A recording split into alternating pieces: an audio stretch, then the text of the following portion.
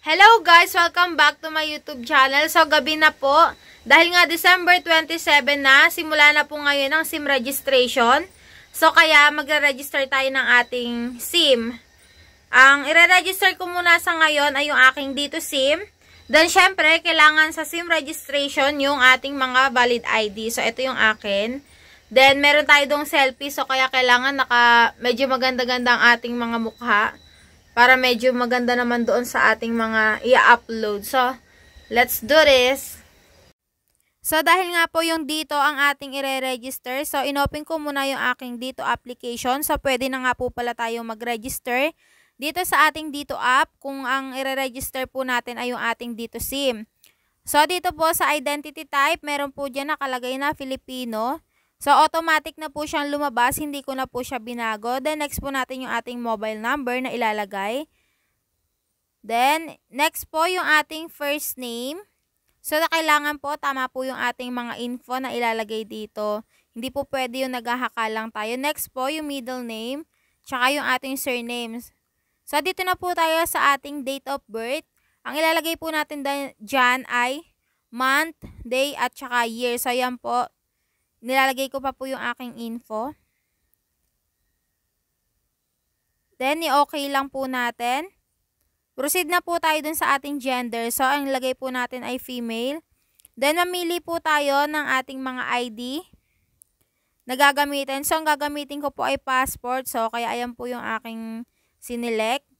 Then, ilalagay po natin yung ating ID number. So, yung ID number po, dun po natin yung makikita sa ID na hawak natin. So, i-check lang po natin. So, yan, natatagalan po tayo dahil binubuklat ko pa po yung aking passport.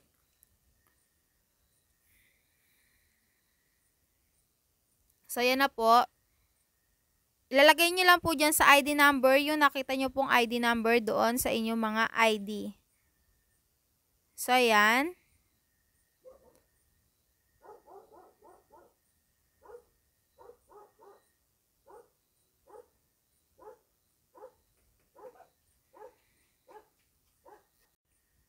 So, next naman po natin yung ating mga address.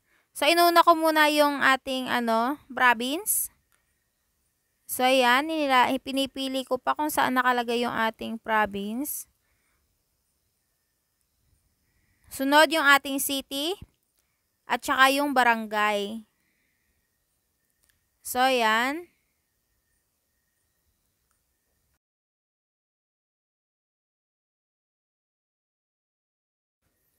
Ni-next ko naman tong ating house number. So, dahil nga hindi pa natin may masyadong gamay yung lugar, eh, inuna po natin muna yung province, yung city, at saka yung barangay. Para po sure. So, ayan. Sinunod ko na po yung ating street after nung house number. So, dito naman po tayo sa ating zip code. So, dahil nga po hindi ko po alam yung zip code sa lugar na ito, so, kailangan ko pa pong i-google para sure din yung ating ilalagay na information. So, ayan, buti na lang po meron na tayong Google ngayon. So, kapag meron tayong gustong malaman at hindi natin alam, pwede nating i-search online. So, yan lang po yung pinakang maganda din sa panahon natin ngayon. Hindi talaga katulad ng dati na kailangan mo talaga magtatanong pa sa mga tao. So, ayan, pag may kailangan tayo, sobrang dali na lang talaga. Yan, search-search na lang, ganyan. So, yan, naghahanap pa tayo sa ating Google ng mga resulta ng ating sinearch about sa zip code sa lugar natin. So, yan, may nakita na tayo.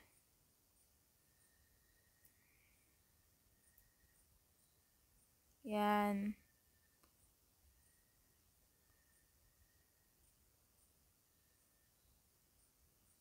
So, ini-screenshot ko siya para meron din akong kopya. Kung sakaling wala na akong pang data. So, at least meron tayong backup sa ating gallery. So, ayan. Balik na ulit tayo sa ating dito app. So, nilagay ko na yung ating zip code.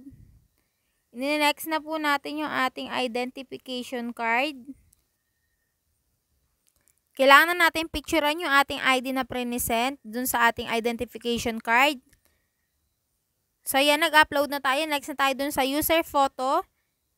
Ang kailangan dito ay magsi-selfie ka kasama yung ating ID na present. So, ayan, nagre-ready muna tayo para medyo maganda-ganda naman yung ating itsura dito sa ating pagre-register. So, ayan, umaaura-aura pa tayo ng ating, ano. Then, may napili na tayo. Nag-upload tayo. Then, i-check lang natin itong terms and condition, yung dalawang nasa ibaba. Then, in-scroll up ko, pinindot ko yung send OTP. So, yun ang pinakang hinuli ko dahil nga may timer siya sa para sakto. So, ayan, may nag-text na sa atin. I-encode lang natin siya dito.